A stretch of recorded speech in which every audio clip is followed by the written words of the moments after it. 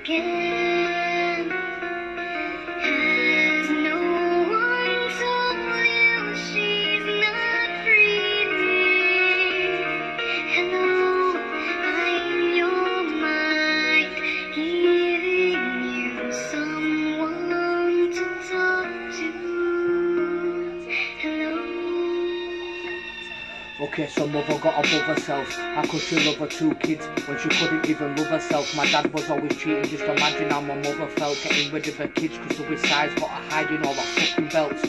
All I was ever taught was how to wear a mask. From the age of 12, I didn't even have a dad. For me to get money, I had to find a graft. I'd rather sleep rough than sleep in another foster gaff. Do you know what it feels like to really feel alone?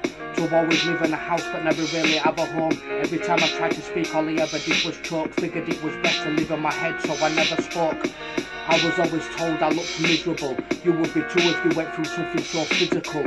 Coming through the other side, it was a miracle. Although I've got a tape metal, my head doesn't turn digital.